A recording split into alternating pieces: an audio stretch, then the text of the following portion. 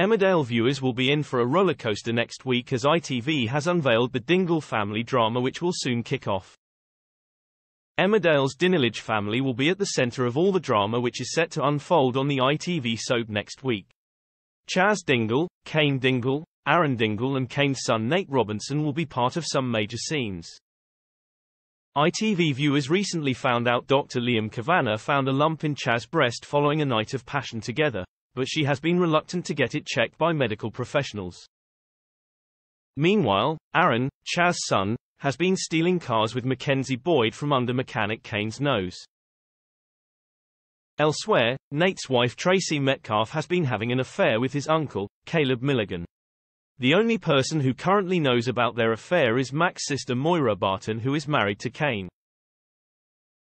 Chas Dingle receives heartbreaking cancer diagnosis. Chas receives a call confirming her hospital appointment and Liam is thrilled when she asks him to accompany her. However, she learns she has triple negative cancer and vents to Liam about her diagnosis when she returns home.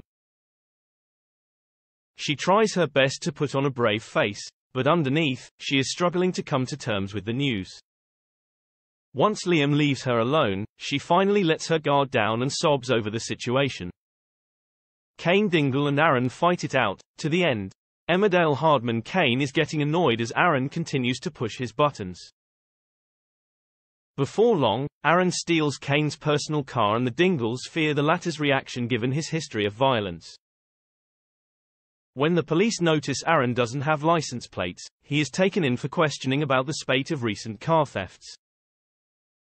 Later on, Cain and Aaron end up having a brutal fight, with Cain pinning him down, unsure whether to finish it.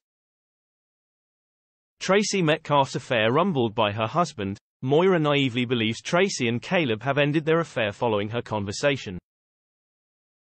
However, that is far from the case as the couple cannot keep their hands off each other. Nate soon becomes suspicious and offloads his relationship woes to Belle Dingle as he thinks Tracy and Caleb are having an affair. Before long, H is determined to catch the pair in the act and heads over to the house, but what will he find?